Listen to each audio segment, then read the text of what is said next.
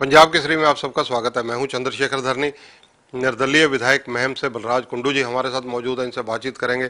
कुंडू साहब स्वागत है पंजाब केसरी में। जी धन्यवाद। कुंडू साहब मानसून सत्र आने जा रहा है। मानसून सत्र के अंदर विशेष रूप से किन मुद्दों पर आपका फोकस रहने वाला है? देखिए विशेष सत्र में कई बहुत ही जवलत महत्वपूर्ण विषय अब की बार जो है ना हमने उठाए हैं। मैंने करीबन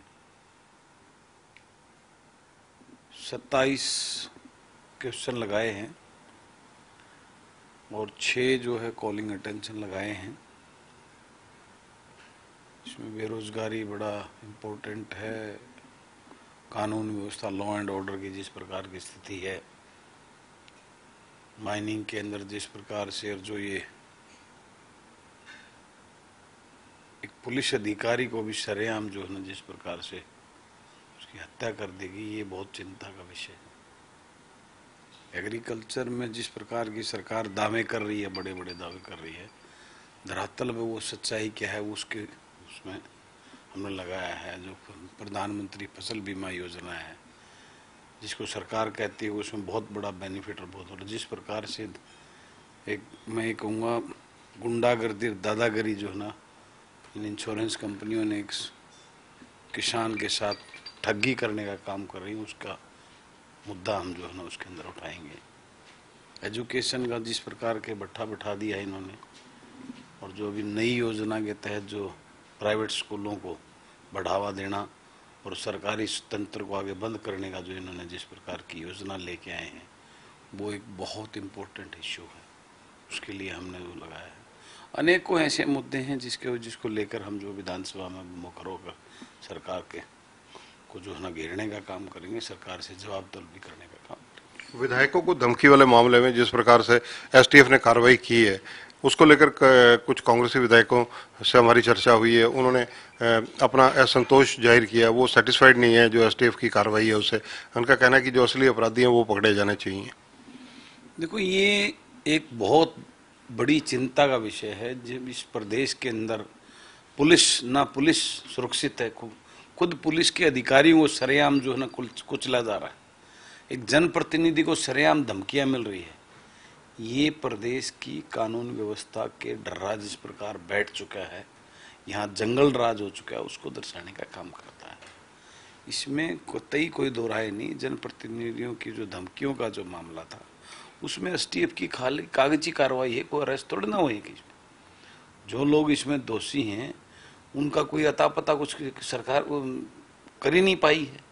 तो किस प्रकार से एक प्रदेश के अंदर जो है आज जिस प्रकार का माहौल हो रहा है, एक लोगों के अंदर डर और भय का माहौल हो गया है और जिस प्रकार हर वर्ग पीड़ित है, आज एक धक्काशाही जो है ना ज़बरदस्ती और गुंडागर्दी के टाइप से सरकार अपने कर्म को कर रही है, सरकार को लोगों की कोई चिंता नहीं कांग्रेस के विधायक कुलदीप बिश्नोई नई राजनीतिक पारी शुरू करने के संकेत दे रहे हैं। कांग्रेस से उनका मोहभंग हो चुका है और इसी प्रकरण में वो स्पीकर से इस्तीफा भी सौंप रहे हैं।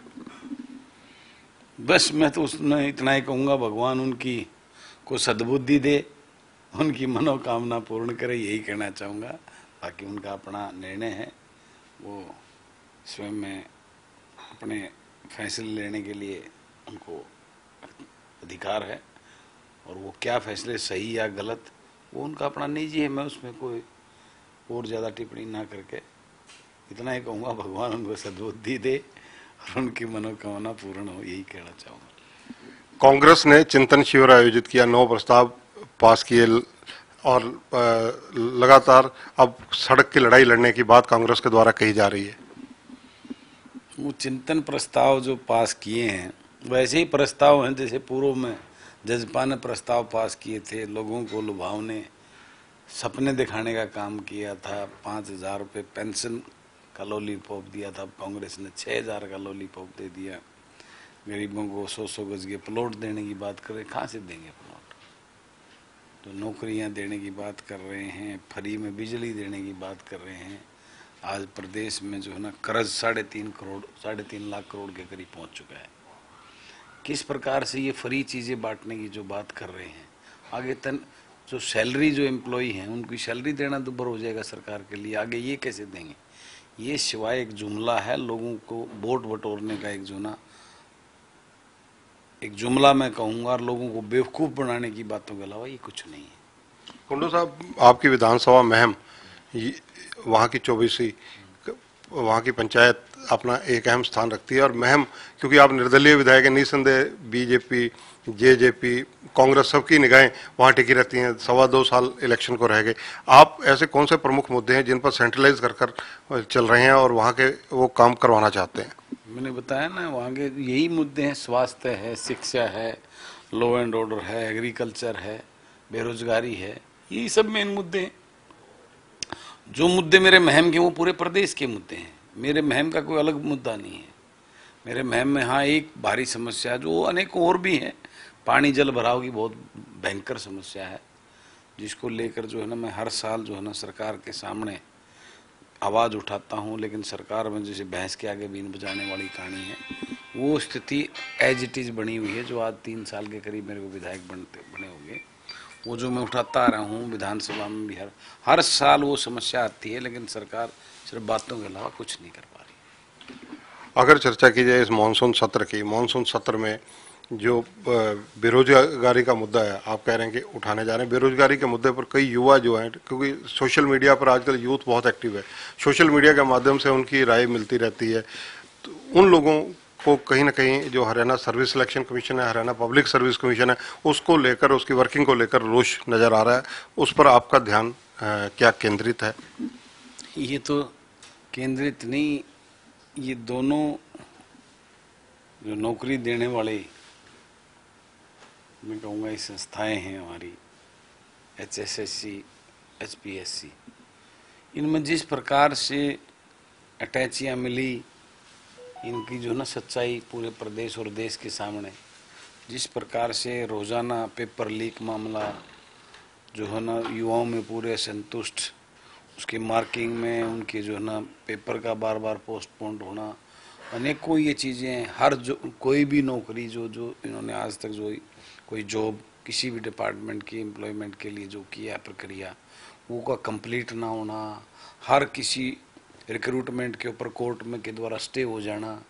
पिछले ढाई साल ही number two Manohar number two का जो दौर चला है, इसमें एक भी जो है ना कोई रिक्रूटमेंट की सक्सेसफुल नहीं हो पाई है। सब पे कहीं ना कहीं इन्होंने अपने लेवल पे कर दी है तो कोर्ट में जाके वो सारी चीज़ें अटकती जा रही क्योंकि उसके अंदर जान पूछ कर ये उसकी प्रक्रिया के अंदर ऐसी खामियाँ छोड़ रहे हैं, जिनको लेकर बाद में कोर्ट में स्टे हो जाता है। ये सिर्फ़ जनता को और युवाओं के साथ एक बहुत बड़ा धोखा भद्दा मज़ाक कर रही है सरकार।